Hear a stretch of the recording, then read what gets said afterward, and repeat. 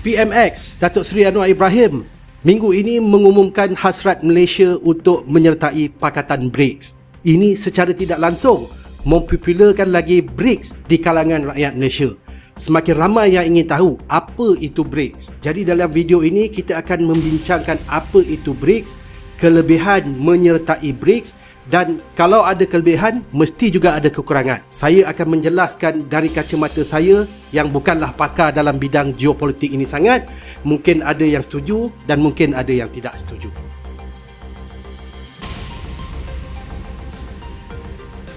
Pertama, apa itu BRICS? BRICS pertama kali disuarakan oleh ahli ekonomi Jim O'Neill pada tahun 2001 iaitu mencadangkan Pakatan Negara Membangun Brazil, Rusia, India dan China. Pada 2010, Afrika Selatan menyertai pakatan ini dan menjadikan panggilan baru BRICS BRICS. Tujuan BRICS ini di atas kertas ialah untuk mempromosikan keamanan, keselamatan, ekonomi, keuangan dan pembangunan di kalangan negara anggotanya. Namun secara asasnya BRIC ini adalah untuk bersaing dengan kuasa G7. G7 adalah pakatan negara maju, Kanada, Perancis, Jerman, Itali, Jepun, UK dan juga US. Kita ni trader kan, memang ada setup atau signal yang jadi favorite kita untuk kita trade. Biasanya kalau trade setup favorite kita ni keluar, memang tak mengecewakan lah.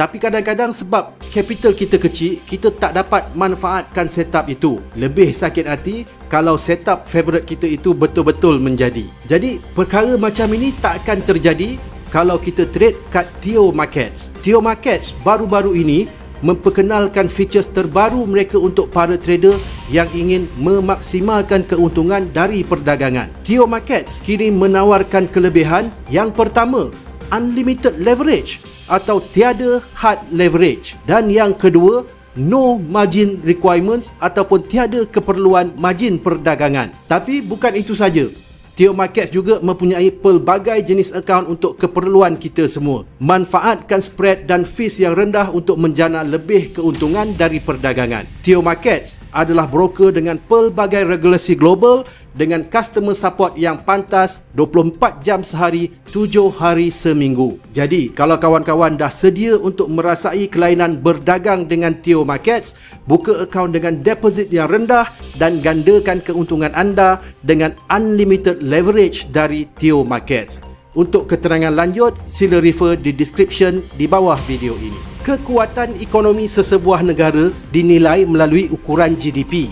Untuk itu kita akan lihat total size ekonomi antara negara G7 dan juga BRICS. Pada tahun 2023, total GDP negara G7 ialah 45.9 trilion dengan Amerika Syarikat sahaja menyumbang 27 trilion manakala BRIC Plus mencatatkan nilai GDP 31 trilion. BRIC Plus ialah selepas mengambil kira ahli baru dalam BRICS walaupun ekonomi G7 lebih besar dari BRICS yang lebih menarik ialah apabila kita melihat trend jangka panjang. Mengikut data Statista, pada tahun 95, negara G7 mewakili 45% GDP global, manakala BRICS hanya 17%. Pada 2010, G7 menurun kepada 34 tetapi BRICS meningkat kepada 27%. Dan pada tahun lepas, G7 hanya mewakili 30% dan BRICS memintas kepada 32% dari keseluruhan GDP global.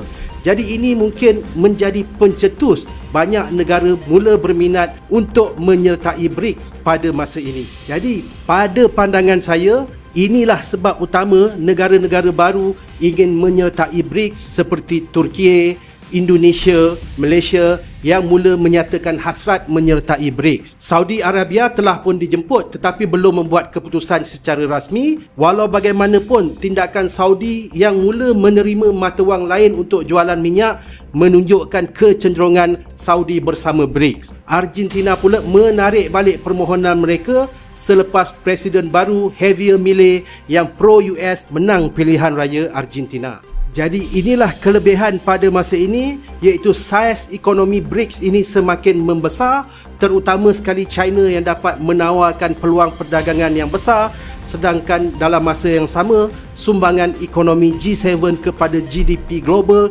dilihat semakin menurun seperti pada tahun 2023 dan oleh kerana itu jika Malaysia tidak menyertai Pakatan BRICS ini secara rasmi mungkin akan ada sekatan untuk membuat perdagangan dengan negara-negara BRICS seperti tarif duty dan cukai di masa-masa akan datang kerana pasti pakatan ini akan mengutamakan ahli dalam kelompok mereka terlebih dahulu terutamanya daripada sudut ekonomi dan perdagangan. Sebagai tambahan, walaupun Malaysia tidak menjadi ahli BRICS, kita juga tetap mempunyai perdagangan dengan negara-negara ini. Nilai ekspor Malaysia ke negara BRICS pada tahun 2023 ialah 44.5 bilion dengan China sahaja melebihi 70% daripada jumlah ini. Seterusnya, seperti biasa, setiap kelebihan pasti ada kekurangan. Faktor negatif yang paling kita kuatiri ialah bagaimana respons Amerika Syarikat dan negara G7 terhadap perkembangan ini. Walaupun pada masa ini tak ada lagi ancaman secara rasmi daripada pihak barat, mereka sebenarnya memperkecilkan inisiatif BRICS ini dan dilihat tidak signifikan dan pada pandangan mereka BRICS tidak akan mencapai matlamat. Namun melihat kepada sumbangan GDP lambat laun ini akan menimbulkan juga tindak balas daripada pihak barat. Dalam kes kita Malaysia pada tahun 2023 nilai ekspor Malaysia ke beberapa negara utama G7 jumlah keseluruhan ekspor ke negara-negara ini adalah lebih daripada 400 bilion iaitu 10 kali ganda lebih besar dari perdagangan Malaysia ke negara BRICS. Jadi, apakah akan terjadi sekiranya pihak barat terutamanya US mengenakan sekatan perdagangan dengan negara-negara anggota BRICS ini di masa depan? Kesannya memang bukan kepalang, ia boleh menyebabkan ekonomi Malaysia jatuh melesek. Di samping daripada risiko itu, BRICS ini pada pandangan saya masih lagi belum cukup matang. Masih banyak lagi yang perlu dilakukan oleh BRICS untuk benar-benar boleh mencabar barat. Walaupun banyak institusi telah ditubuhkan oleh BRICS seperti New Development Bank yang berperanan seperti World Bank dan Contingent Reserve Arrangement CRA yang berperanan seperti IMF tetapi ada banyak lagi institusi yang perlu disegerakan. Seperti institusi macam United Nation. Sebab United Nation ni macam dah tak guna eh.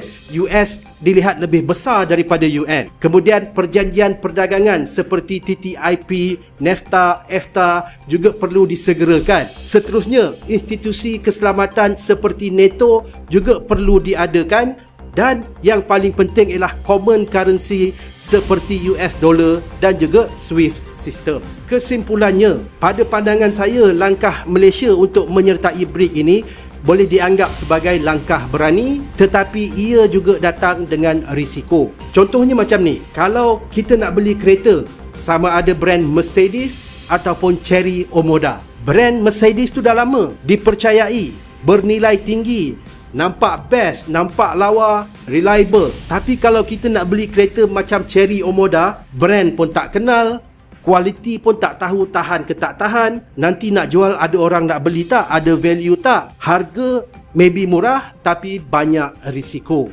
Jadi itulah perumpamaannya situasi pada masa ini. Alright, semoga perkongsian ini bermanfaat. Jangan lupa like dan saya sangat menghargai sokongan kawan-kawan especiallynya yang sentiasa sudi meninggalkan sepatah dua kata di ruangan komen. Dan finally jangan lupa join channel WhatsApp Jutawan Saham link ada di description ataupun di bio TikTok. Kita jumpa lagi dalam video yang seterusnya. Assalamualaikum.